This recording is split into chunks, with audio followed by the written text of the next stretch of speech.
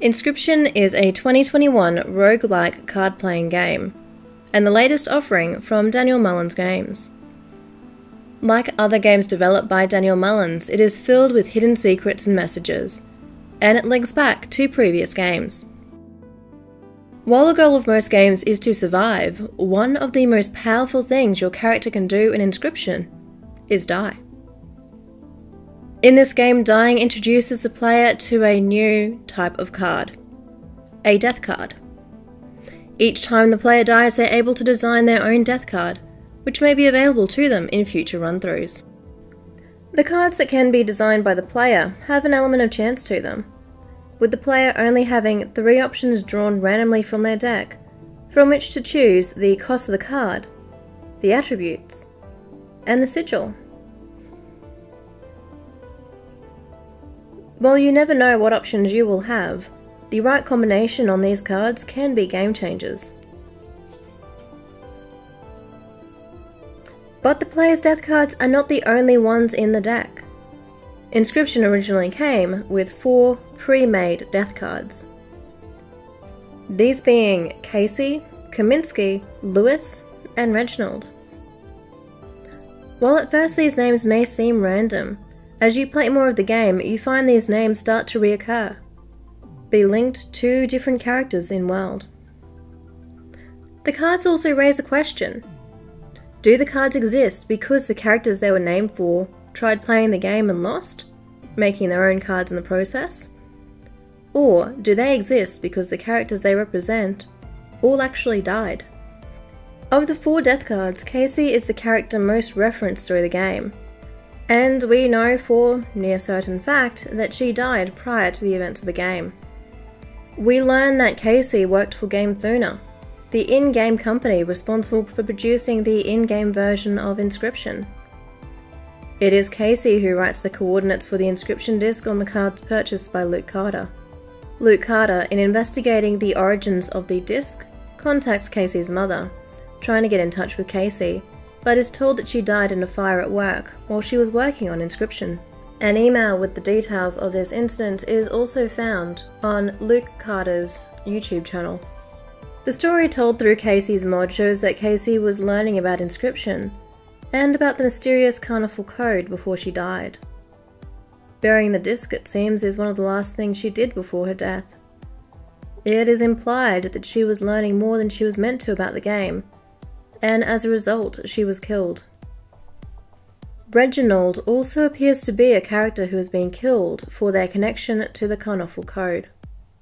Exploring Magnificus's tower in Act 2, we can find a secret room, empty apart from a candle, and a flickering Department of Defense ID card for one Barry Reginald Wilkinson. This ID card is part of the old data, and is seen again at the end of the game, when the old data is unlocked. Gaming sleuths who have more thoroughly explored the secrets behind the ciphers hidden through the game have unlocked records recounting the last mission of Barry Wilkinson, aka Big Ear, who recovered the Karnoffel Code on a deck of cards from the corpse of Adolf Hitler himself. Barry Wilkinson went on to break the encryption on the old data, he would then smuggle the disc from Moscow to Boston by concealing it among blank discs. Barry knew that this would be risky and that he may be caught. Unfortunately, he was correct. In Act 3, the Trapper reveals Barry's fate. The player is able to trade hollow pelts to the Trapper in exchange for information about the old data. The information is revealed after the player chooses a tarot card. Barry's tarot card is a big ear in reference to his alias. Selecting this card causes the trapper to reveal that Barry Reginald Wilkinson had been discovered in his mission and put to the gun. Now, there is a second theory on the identity of Reginald on the death card.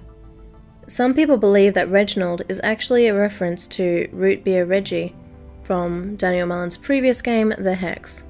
Personally, though, I believe that Reginald is Barry Reginald Wilkinson.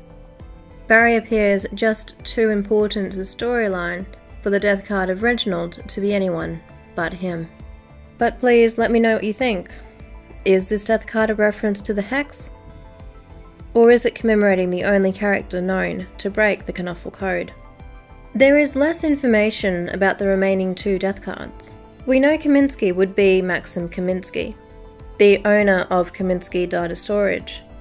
He is referenced in the same records that speak of Barry Wilkinson and referenced in the entries in Casey's mod.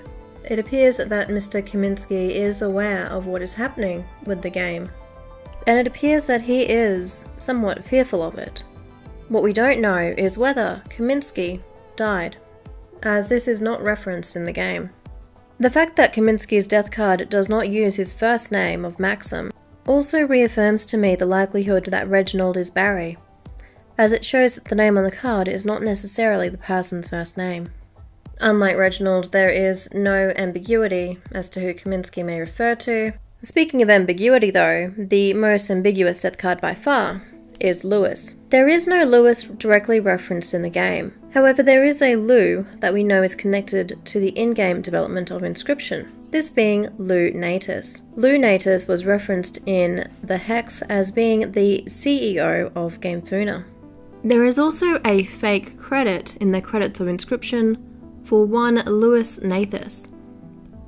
This is actually a clue for the ARG aspects of the game, which I won't get into here, but it is interesting that this fake name is so close to that of CEO Lou Natus. It leaves open the possibilities that the Lewis death card is the CEO of Gamefuna, who perhaps got a little too close to his own game. Or perhaps Lewis is another developer like Casey who was working on Inscryption in game and, like her, lost his life because of it. If that was the case, it would make sense that his credit does not link to any real life person.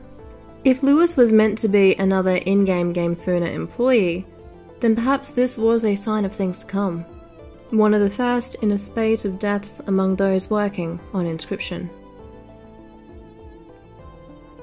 Playing Casey's mod introduces a number of new death cards, who all appear to be real life people who worked on Inscryption.